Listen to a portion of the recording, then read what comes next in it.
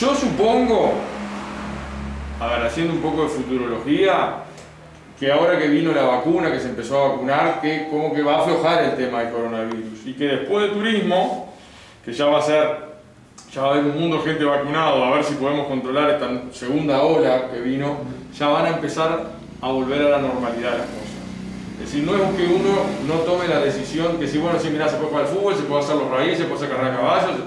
Es decir, lo que estamos tratando es de eh, eh, proteger a la población. No son medidas que, primero, no son simpáticas. Yo desde que me senté como intendente, todos los días tuve que decirle a alguien que no.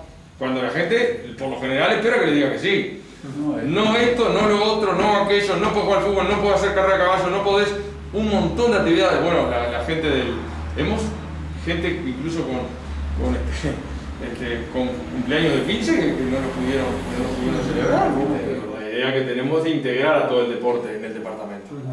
¿Viste? Capaz que el fútbol es más complicado porque tenés muchos viajes, ¿viste? tenés muchos viajes y tenés, este, la verdad, son muchos, es decir, son imbancables los viajes de aquí. Es carísima la logística, ¿viste? Pero hay otros deportes que vos nombrabas recién, el, el frontón, las carreras de calle, las carreras de bicicleta, un montón de cosas que podés empezar a, integrar a todo el departamento y hacer campeonatos departamentales y eso evidentemente motiva porque no es lo mismo ser campeón este, eh, departamental en cualquier disciplina, por ejemplo en, pelota de frontón, que ser campeón de Minas, o que ser campeón de Valle Ordóñez, o que ser campeón de Valle Zapicán. bueno, y esas son todas las cosas que nosotros tenemos en carpeta para llevar adelante este, cuando esto se comience, que se comience a normalizar. Ah. Este, y en el fútbol también, ¿viste? porque en el fútbol también te duele, sos de la Valleja como somos nosotros, pero en definitiva no sos de la Valleja, sos de Mina, porque ustedes tienen otra liga que es la, y que compiten a nivel nacional. Entonces ahí cuando se te dan esas dicotomías que no tenés integrado todo el departamento. Hemos estado por supuesto reunidos con, con los alcaldes, pero formalmente es la, la primera reunión que tenemos con la, con una alcaldía, pero en ese sentido tengan la tranquilidad de que no le vamos a decir desde Minas que hay que asfaltar una calle o que hay que hacer una obra o que hay que hacer otra. Eso va a ser este, disposición de, ustedes este, en un consejo. Además tiene eh, una comunicación mucho más fluida con el Ejecutivo y se trata de resolver problemas, esos problemas que a veces demoran tres meses, ahora con una dirección de descentralización lo solucionan en un rato. Bueno, Mani, un gusto recibirte por aquí en, nuestra localidad, en esta recorrida por esta parte del departamento. ¿Cómo andas? Sí, bueno, este, buenas tardes, Giovanni.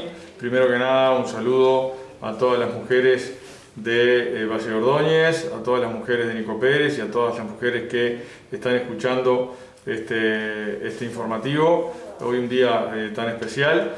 Bueno, lo hemos dedicado a recorrer la zona norte, vinimos muy temprano, estuvimos en Zapicán, Después este, estuvimos con el señor alcalde por Illescas, conversando con los vecinos, viendo las cosas que tiene que actuar este, eh, la Intendencia Departamental.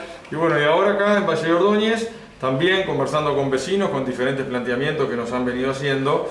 Y bueno, estamos para iniciar la sesión con el Consejo este, de la Alcaldía, quienes están ya en breves instantes estaremos reuniéndonos. Bien, ¿cómo vienen los trabajos de, la Intendencia en un tiempo difícil, decías indudablemente? Sí, sin duda que nos tocó este, asumir en un momento muy complejo. Eh, a fin de año, eh, fuera, de, fuera de fecha, las elecciones se postergaron, como todos recordarán, nosotros asumimos fuera de tiempo. Asumimos además con la, llegada de la primera ola de eh, contagiados de COVID-19 eso, este, a los pocos días de haber asumido ya tuvimos que tomar medidas que eh, evidentemente fueron eh, directamente a combatir este, la pandemia, pero a apretar determinadas perillas. Este, asumimos además en el medio de una seca muy, muy pronunciada de muchísimos meses y a los pocos días tuvimos agua que la veníamos esperando, pero en cantidad realmente eh, desproporcionada. Llovieron casi 500 milímetros en muy poquito tiempo. Eso también generó que la caminería que veníamos arreglando con muchísimo esfuerzo este, quedara absolutamente destrozada, arrancar de cero de vuelta.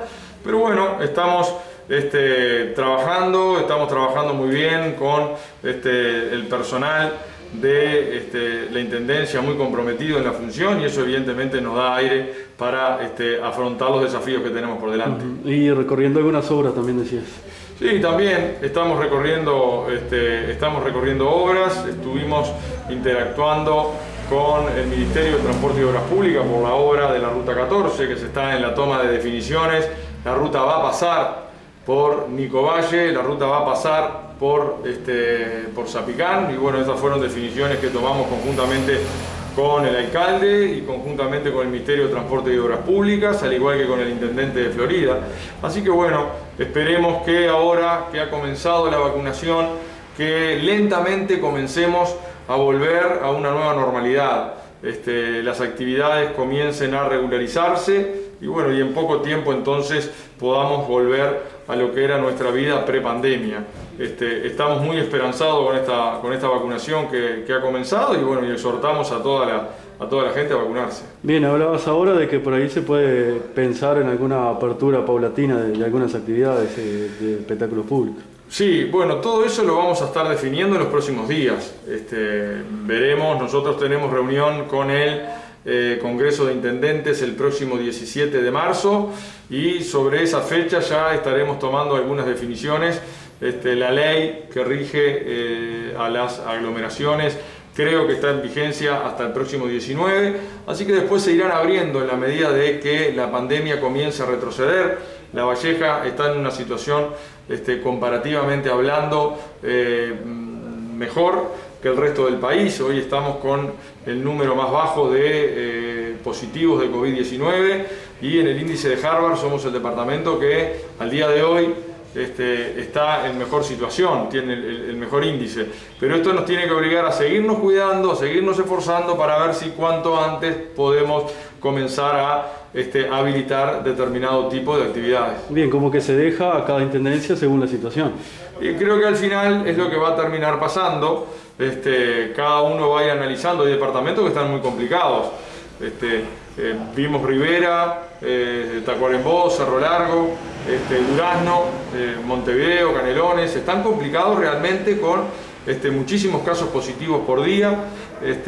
Nosotros dentro de toda nuestra planificación que hicimos al, al, comienzo de nuestro periodo de gobierno, habíamos visualizado la posibilidad de llegar a este momento a este momento de inicio de las actividades turísticas y de, la actividad de la, de la, alta temporada para La Valleja, justamente en esta situación en la cual hoy estamos. Así que tenemos que seguir, tenemos que este, seguir esforzándonos, vacunándonos.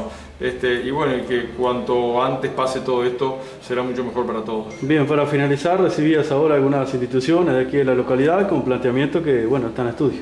Sí, por supuesto que nuestra obligación es estar en contacto con el vecino, así lo, lo hacemos, no lo hemos hecho en la, como hubiésemos querido desde un arranque, pero la pandemia nos paró a todos. Este, el, circular no era aconsejable y, bueno, pero está, ya este, estábamos extrañando muchísimo este de vuelta con las localidades del norte del departamento y bueno, aquí estamos justamente para escuchar a los vecinos, para ver de primera mano lo que son las necesidades de la localidad. Estuvimos hace un rato con el alcalde visitando esa obra que se está terminando ahí en el cerro este, y bueno, y estamos intercambiando este, para lo que serán las futuras intervenciones del gobierno departamental y municipal aquí en la localidad. muchas gracias. El gusto siempre.